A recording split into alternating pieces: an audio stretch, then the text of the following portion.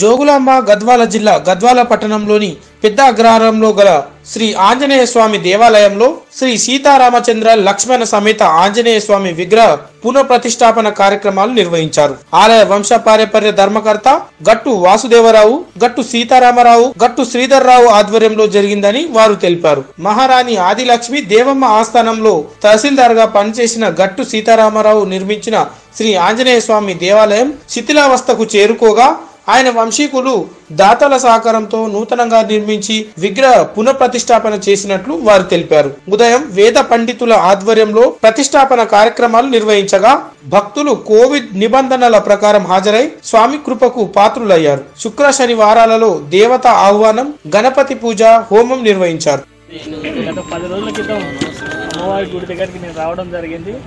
మరి అక్కడ వస్తే మా సురేష్ వాళ్ళతో పాటు వాళ్ళ పంచాయతీ నాయకులు కొంతమంది టీచర్లు అందరు కలిసి అన్న ఒక్కసారి మాది ఇక్కడ గుడి కడుతున్నాం. ఒక్కసారి మీరు వచ్చి విజిట్ చేసుకోండి అని చెప్పారు. చెప్తే వెంబటే అదే రోజు ఇక్కడికి రావడం జరిగింది. అంటే గత పది రోజులు అయింది అనుకున్నాను పది రోజుల క్రితం వచ్చినప్పుడు చూసి సరే మరి మీరు పదిహేనో తారీఖే మీ శివలాల్ జయంతి అంటున్నారు కదా. మరి ఆ దేవుని అనుగ్రహంతో మీరు ఆ పదిహేను పదిహేనో తారీఖు లోపల మీ స్లాబ్ అయ్యి మీరు ఇక్కడనే పూజ నిర్వహించుకుంటే బాగుంటుంది కదా అని చెప్పి నేను చెప్పడం అయితే వెంబడే అదే నెక్స్ట్ రోజే మరి కార్యక్రమాలు మొత్తం స్టార్ట్ అవ్వడం జరిగింది. మరి ఈరోజు స్లాబ్ కూడా వేయించుకుంటున్నాం.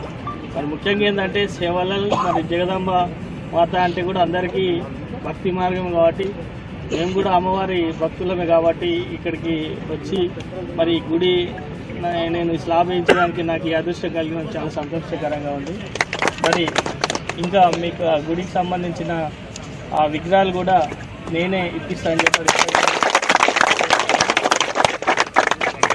మరి మీరు ఎంత తొందరగా నిర్వహించుకుంటే మీరు ఎంత తొందరగా చేసుకుంటే అంత తొందరగా నేను కూడా మరి ఆ విగ్రహాల సైజులు ఏంటి అవన్నీ చెప్తే కూడా నేను ఆర్డర్ ఇచ్చి చేయించేస్తాను అని చెప్పి కూడా ఈ సందర్భంగా తెలియజేస్తా ఉన్నా.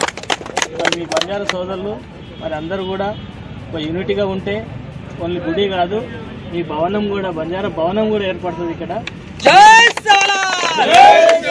నేను ఇక్కడ ఇవ్వడంతో పాటు ప్రతి ఒక్కరికి కూడా చెల్లడం వస్తుంది ఇప్పుడు. ప్రతి ఒక్కరు కూడా ముందుకు వచ్చి మేము చేస్తామని ముందుకు వస్తారు.